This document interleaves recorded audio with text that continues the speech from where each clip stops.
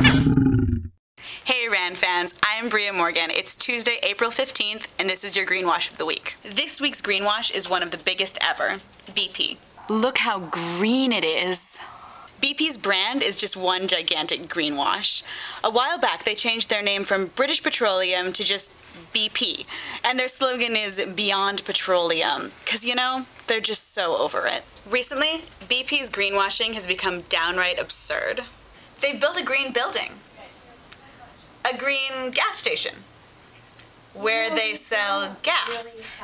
Plus, they did these man on the street ads and some stuff about singing babies. Meanwhile, BP is embarking on the dirtiest and most destructive oil project on Earth extraction from the Alberta tar sands in Canada. Extracting oil from the tar sands causes up to three times the greenhouse gas emissions of conventional oil drilling. Basically, it's strip mining for oil, a desperate attempt to feed our addiction to petroleum by squeezing out every last drop of oil, no matter what the cost. Beyond petroleum.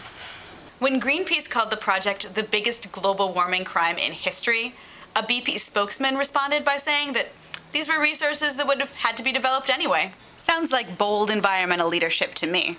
No matter what BP does to distract the public from the true nature of their business, their actions speak louder than words. There is no way that a company can drill for oil in the Alberta tar sands and still call themselves green. BP's not beyond petroleum, they are petroleum. And that's why they're this week's Greenwash of the Week.